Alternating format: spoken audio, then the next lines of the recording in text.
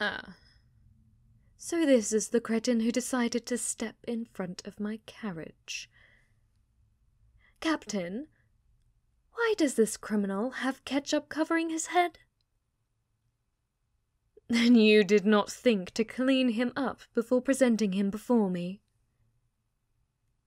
It does not matter if you intended to appear before me in such a state. If you didn't want to be kicked and injured, you should not have stood in the path of my darling sweet Snow while she was confused and running around. Her hooves are now covered in your ketchup. You're lucky you did not stain her beautiful white hair, or you would be receiving a far harsher punishment. Is the punishment not obvious enough, Captain? It is the same as the carriage driver who allowed my darling horses to be spooked. And, in fact, you as well for the idiotic way you have been speaking to me. Guards, arrest your former foolish peers and take both of them to the gallows to await the executioner. Off with their heads! Ugh. What a headache. My dear adviser, is that you? Oh, you should have shown yourself sooner. I thought I was going to burst a blood vessel dealing with those riffraff. Your presence would have soothed me. Reveal yourself instantly next time. That is an order. I do not care if it appears you are interrupting my orders. As you have always said, I am the one who decides the fates of all those in my kingdom, do I not? No one can object to you interjecting if I do not. As my dear adviser, your status alone should silence all their complaints. Only someone as intelligent and authoritative as yourself can stand above them, other than myself. I am exhausted. This is the fifth time this week I have had to remove a captain. This one only lasted for four hours. I'm going to run out of guards to appoint at this rate. I've already run out of ones that are actually qualified for the position. Mamma and Papa's captain of the Royal Guard was so faithful to them. Why is it so hard to find folks who will be loyal and not question my authority?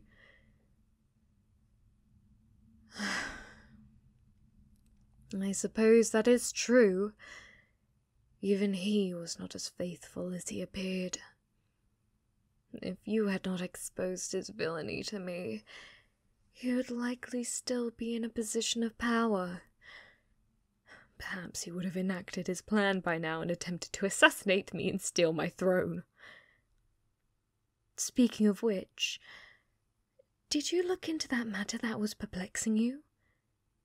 It pained me to see the anguish on your face when you told me about your concerns of another attempted uprising. If only my subjects were more loyal, you would not have to go through such agonies to stop those fools from rushing the palace gates. You should really take a break. Well, none are as talented as you, of course, and I must admit I would prefer if you remained in the kingdom. I should be able to trust the team of lower advisors to handle your. Are you certain? I would pay for any and all expenses for whatever you wish to do. Very well, then. Can you tell me what you have found? That Viscount. His daughter was the one who spilled wine on you during the last gala, correct? I thought it was merely an accident at the time, but could it actually have been part of a plot? How fortunate you talked me into a month of daily whippings instead of beheading. She can be interrogated. I shall send word to. You? My dear adviser, As wise as you are, I would advise against interrogating her yourself. The jails are grotesque, full of waste and lacking sunlight. Hardly the place someone as glorious as yourself should go. Please, allow me to handle this burden. I am still unsatisfied with how lightly she got off from embarrassing you. If you're certain. Come here. I needed your warmth. You're the only one in this wretched kingdom I can trust. When Mama and Papa were in charge, none of them thought of trying to shame me by throwing wine on my court officials at my own ball, or spooking my horses in an attempt to have me thrown from my carriage, or try to suffocate me with my corset, or plant foreign flowers to poison me by air, or change the menu to make me sick right after my parents passed. Did my parents have to deal with this their entire lives? considering if every blunder was an attempt on their safety. Is the stress what killed them? Did they pass so early because they could not take it any more? Are you sure it wasn't an assassination? You're certain you overlooked nothing when examining the circumstances, right? Right? Of course I trust you. You would never betray me. In a kingdom full of miscreants, you are the only one who has faithfully been by my side.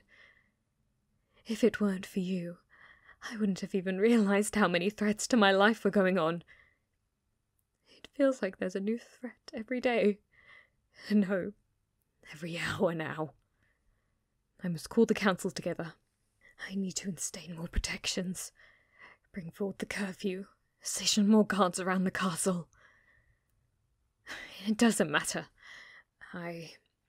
I can call in more guards from the towns. They don't need that much protection. If anything, it'll be good for the riffraff to have to deal with the fear they tried to make me feel. So it makes them think twice. I can trust you to handle that order. Correct? Thank you, my dear adviser. I would be so lost without you. Your guidance keeps me steady. Your presence by my side allows me to know I'm doing the right thing. Your smile is my only source of comfort. What can I get for you if a vacation is not what you desire? A vineyard? Some more lands? A castle? Tell me whatever it is you desire and I shall have it delivered to you post haste. More books. My dear adviser, you always ask for so little. Tell my attendants what books you long for, and I shall have them spare no cost in finding them. no book is forbidden for you. You should know by now that no law may restrict you. If I could, I would give you the whole world. Nay, the whole world, and whatever lies beyond it.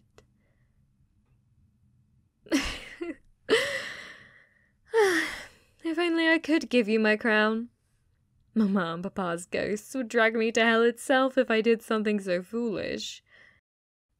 Your sense of humour never fails to make me smile. If you have no pressing duties this afternoon, will you join me for drinks? A merchant I recently executed failed to give a next of kin, so his stock is still within the castle. He has some very nice rare vintages I would like to taste. I was considering convening the council in order to curry favour but I feel like they would be better spent drunk by you and I in my quarters. I look forward to seeing you then. My dear adviser, keep your head held high. Even if all the living and all the dead are against me, I shall always reward your loyalty.